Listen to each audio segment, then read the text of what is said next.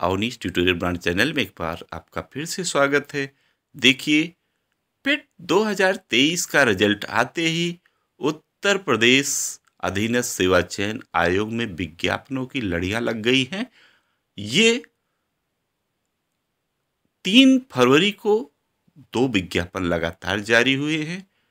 पहला विज्ञापन store keeper का था जल निगम और सिंचाई विभाग में। तो वहीं ये है तीसरा विज्ञापन।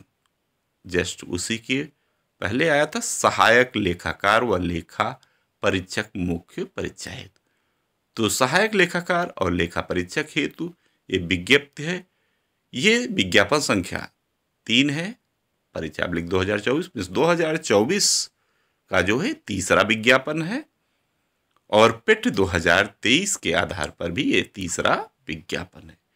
विज्ञापन के प्रकाशन की तिथि, आप देख रहे होंगे कि विज्ञापन के प्रकाशन की तिथि, चलिए देख लिया जाए। तो ये है तीन फरवरी 2024 वहीं ऑनलाइन आवेदन शुल्क जमा करना प्रारंभ होने की तिथि जो है वो 20 फरवरी से है। और अंतिम तिथि जो है, वह 11 मार्च 2024 है। और शुल्क समायोजन और आवेदन में कोई संशोधन हो तो उसके लेट पेमेंट के साथ 18 मार्च आखिरी डेट है। ठीक है? तो चलिए विशेष थोड़ा सा कथन देख लीजिए, उसके बाद आपको क्या क्वालिफिकेशन है इसके लिए?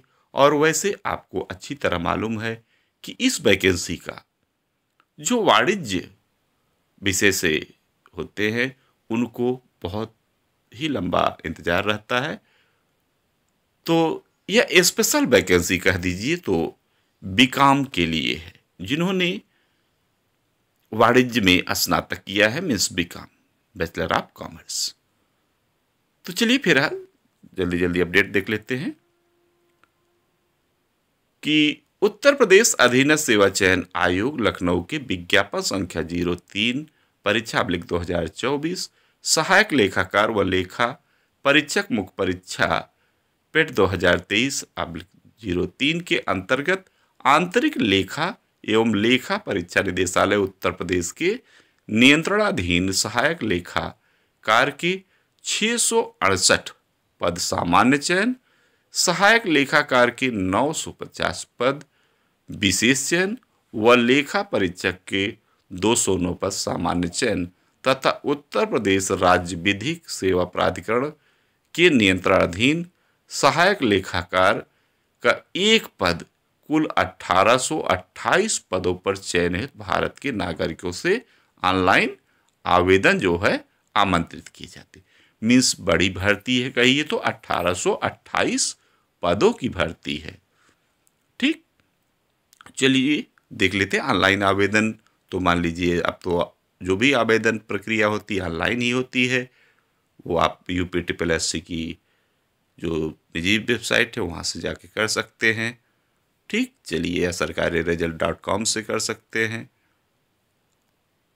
तो देख लेते हैं हम लोग कि परीक्षा शुल्क क्या है, माने फार्म फार्म शुल्क क्या है आवेदन करने का। तो सभी कैटेगरी, चाहे वो अनारक्षित हो, चाहे आरक्षित हो सभी को पच्चीस रुपये शुल्क देकर फॉर्म को फिलअप करना। ठीक है? और आगे देख लेते हैं।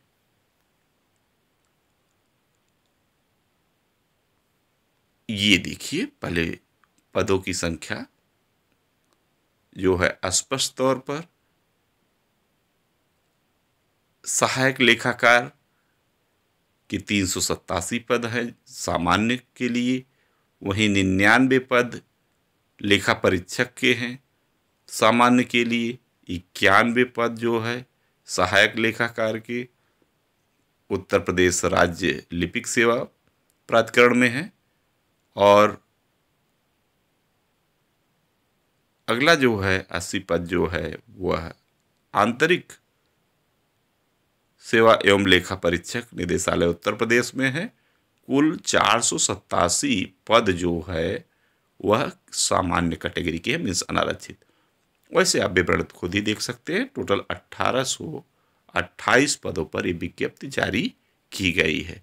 और यह स्पेशल तौर पर केवल वाणिज्य विशेष है कि जिन्होंने वाणिज्य में स्नातक किया हो, और ये, ध्यान दीजिए क्षैतिज आरक्षण जो होता है, उसका ब्यौरा है और चलिए देख लेते हैं क्या क्या है। आयु तो आपको मालूम ही है कि 21 वर्ष आयु प्राप्त कर ली हो 40 वर्ष से अधिक मीन्स इसकी जो आयु सीमा है इक्कीस से 40 है। जबकि जो इसके पहले विज्ञप्ति टू जारी हुई थी स्टोर कीपर की तो उस पर अट्ठारह से चालीस है। चयन का ये आधार है, लिखित परीक्षा के आधार पर होगा। तो लिखित परीक्षा हेतु पाठ्यक्रम भी है ठीक है? पृष्ठ संख्या चौदह उन्नीस पर उपलब्ध है। चलिए आगे देखते हैं। क्या क्या है?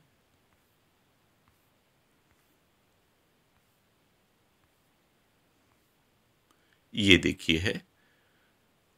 आपका क्या क्या एग्ज़ाम में आएगा उसके बेस पर? ठीक है? तो कितने कितने मार्क्स के सभी हैं? आप खुद ही पढ़ सकते हैं, ठीक है? जैसे ऑडिट फाइ और फाइनल अकाउंट है, इसमें जो है, दस क्वेश्चन यहाँ से आने हैं, दस मार्क्स के हैं। वहीं फंडामेंटल अकाउंटिंग के जो है, दस क्वेश्चन दस नंबर के, ठीक है? वहीं डबल अकाउंटिंग सिस्टम इसमें भी पंद्रह क्वेश्चन है, पंद्रह नंबर के। आर टी जी एस के भी और ई बैंकिंग में, इसमें भी दस। तो इस ढंग से है, आप खुद देख लेंगे, क्यों समय फालतू का वीडियो बड़ा करें। ठीक है? तो ये अपडेट है वाणिज्य विषय से जिन्होंने, और आपको साथ में ये भी बताएँ कि जो इसकी मुख्य योग्यता रहती है, वह ओ लेवल कंप्यूटर में जो है ओ लेवल का भी बने डिग्री होनी चाहिए। चूँकि इसमें जो है, जो शैक्षिक योग्यता है, उसके आधार पर इसके अतिरिक्त या इसके समकक्ष कोई कंप्यूटर की डिग्री मान्य नहीं होगी मीन्स जिन्होंने ओ लेवल किया हो। जैसे यहाँ देख लीजिए, आपको स्पष्ट दिखा दे कि वह जो है, मैंने जो अभ्यर्थन की लिए है कि भारतवर्ष के विधि द्वारा स्थापित विश्वविद्यालय से कॉमर्स में स्नातक की उपाधि, जिसे भी काम कहते हैं, अथवा सरकार द्वारा मान्यता प्राप्त विश्वविद्यालय अथवा संस्थान से अकाउंटेंसी में स्नातकोत्तर मीन्स एम कॉम सरकार द्वारा मान्यता प्राप्त किसी संस्थान से कंप्यूटर संचालन में ओ लेवल डिप्लोमा यहाँ बिल्कुल स्पष्ट बताया गया ओ लेवल मीन्स इसके समकक्ष और कोई दूसरा नहीं है। तो कहने का मतलब बहुत ही साफ़ सुथरी वैकेंसी है। अधिमानी अर्हता तो मान लीजिए प्रादेशिक सेवा, में न्यूनतम दो वर्ष की अवधि सेवा की हो, राष्ट्रीय कैडेट कोर हो मीन्स एन तो प्रमाण पत्र तो उस पर अधिमानी अर्हता मिलती है। लेकिन मुख्य योग्यता जो है, वह स्नातक, कॉमर्स, मिस बी कॉम या परास्नातक हो एम कॉम हो, और साथ में ओ लेवल का डिप्लोमा हो। तो ये था बहुत ही बड़ी अपडेट यूपी टिपल एस की तरफ़ से। और कोई अपडेट आती है तो आपको ज़रूर सूचित करेंगे।